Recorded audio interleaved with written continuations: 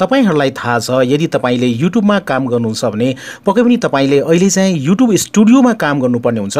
YouTube स्टुडियोमा तपाईँले video कसरी अपलोड गर्ने विभिन्न कुराहरू रहेको छ त्यो तपाईँले युट्युब स्टुडियोमा गर्नुपर्ने हुन्छ। किन भन्दाखेरि युट्युबले क्रिएटेड स्टुडियोलाई चाहिँ हटाउन गइरहेको छ। त्यसै कारणले साथीहरू हामीले युट्युब स्टुडियोमा यी कामहरू कसरी गर्ने त्यो कुरा चाहिँ जान्नुपर्ने हुन्छ। जस्तै कि आजको यो भिडियोमा म तपाईँहरूलाई देखाउन गइरहेको छु यदि तपाईँले आफ्नो च्यानलमा यो सब्सक्राइबरलाई हाइड गर्नुहुन्छ भने यहाँ चाहिँ डिस्प्ले हुँदैन। र त्यसपछि डिस्प्ले गराउन चाहनुहुन्छ भने यहाँ चाहिँ डिस्प्ले हुन्छ। यो कुरा तपाईँले आफ्नो युट्युब स्टुडियोमा कसरी गर्न सक्नुहुन्छ यो सेटिङ भन्ने बारे देखाउन गइरहेको छु।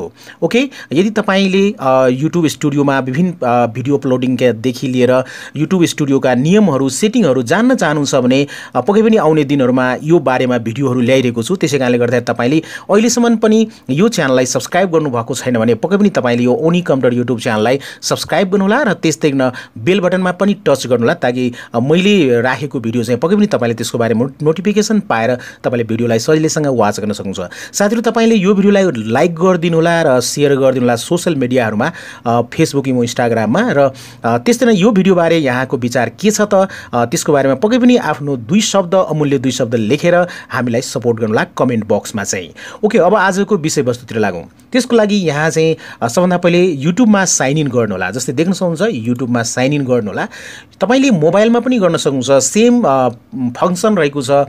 सेम तपाईँले डिस्प्ले देख्न सक्नुहुन्छ। सजिलोको लागि चाहिँ म कम्प्युटरमा देखाउन गएको छु। अब तपाईँले आफ्नो युट्युब च्यानलमा साइन इन गरिसकेपछि राइट साइडमा चाहिँ तपाईँले आफ्नो च्यानलको यहाँ चाहिँ लोगो देख्न सक्नुहुन्छ जस्तै यहाँ लोगो रहेको छ। यो लोगोमा तपाईँले चाहिँ टच गर्नुहोला अथवा क्लिक गर्नुहोला।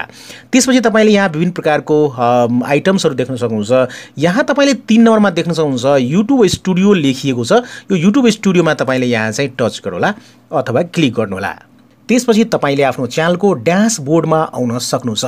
ड्यासबोर्डमा आइसकेपछि अब तपाईँले लेफ्ट साइडमा देख्न सक्नुहुन्छ यहाँ चाहिँ सेटिङ रहेको छ। ओके सो म देखाउन चाहन्छु यहाँ सेटिङ रहेको छ। तपाईँले मोबाइलमा पनि देख्न सक्नुहुन्छ। यो सेटिङमा चाहिँ तपाईँले टच गर्नुहोला ओके? सेटिङमा टच गरिसकेपछि सेटिङ भने पोपअप तपाईँले यहाँ देख्न सक्नुहुन्छ र लेफ्ट साइडमा यहाँ चाहिँ विभिन्न प्रकारको सेटिङहरू रहेको छ। दुई नम्बरमा च्यानल रहेको छ। देख्न सक्नुहुन्छ यो च्यानल। यो च्यानलमा तपाईँले टच गर्नुहोला।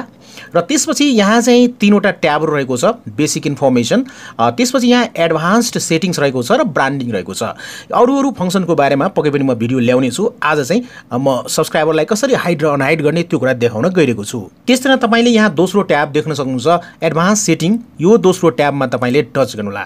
दोस्रो ट्याबमा टच गरिसकेपछि तपाईँले यहाँ अरू पनि सेटिङहरू देख्न सक्नुहुन्छ। तलतिर आउनुहोला र यहाँ तपाईँले देख्न सक्नुहुन्छ एउटा लेखिएको छ यहाँ सब्सक्राइबर काउन्ट भनेर। यहाँ देख्न सक्नुहुन्छ। र सब्सक्राइबर काउन्टको मुनि तपाईँले यहाँ टिक देख्न सक्नुहुन्छ र यहाँ लेखिएको छ display the number of people subscribe to my channel यदि तपाईँले यहाँ टिक राख्नुहुन्छ भने जसले पनि तपाईँको च्यानललाई ओपन गर्नुहुन्छ सब्सक्राइबर देख्न सक्नुहुन्छ कति सब्सक्राइब भएको छ त तपाईँको च्यानलमा।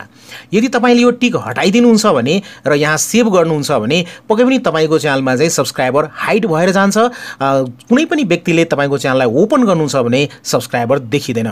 यसरी तपाईँले आफ्नो च्यानलमा चाहिँ नयाँ तरिका अनुसार युट्युब स्टुडियोमा चाहिँ तपाईँले आफ्नो युट्युब च्यानलको सब्सक्राइबरलाई हाइड र अनहाइड गर्न सक्नुहुन्छ भन्दै आजको यो भिडियोबाट बिदा लिन चाहन्छु। टेक केयर गुड बाई जय नेपाल।